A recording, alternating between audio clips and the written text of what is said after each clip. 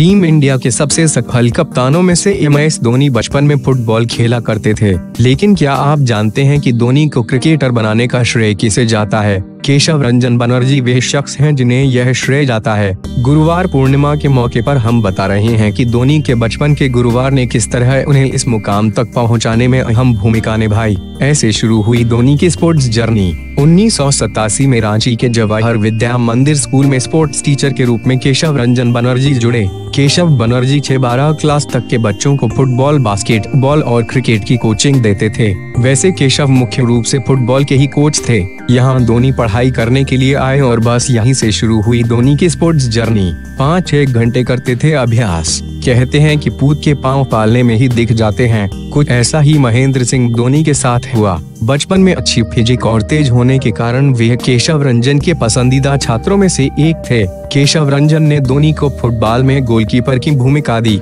इसमें काफ़ी चुस्ती फुर्ती की ज़रूरत होती है। अच्छी फिजिक वाले धोनी को बैडमिंटन और फुटबॉल है पहली पसंद। केशव के अनुसार धोनी की पहली पसंद क्रिकेट नहीं बल्कि फुटबॉल और बैडमिंटन है। वह बचपन में इन्हीं दो खेलों में जिया करते थे। हालाँकि यह अलग बात है कि धोनी ने फुटबॉल और बैडमिंटन नहीं क्रिकेट में करियर बनाया। कैसे फुटबॉल को बदला क्रिकेट में? महेंद्र सिंह धोनी की असल क्रिकेट लाइफ शुरू होती है सातवीं क्लास से। दरअसल जब वे सातवीं में थे तो केशव रंजन बनर्जी ने धोनी से पूछा, क्या तुम क्रिकेट में कीपिंग करना पसंद करोगे? धोनी ने रंजन को निराश नहीं किया।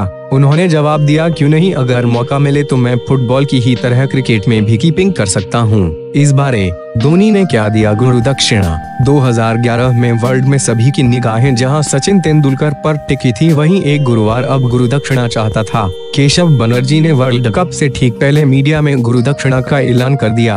वह थी वर्ल्ड कप ट्रॉफी। केशव ने कहा कि यदि महेंद्र सिंह धोनी मुझे गुरु दक्षिणा के रूप में कुछ देना चाहते हैं तो मैं सिर्फ़ वर्ल्ड कप की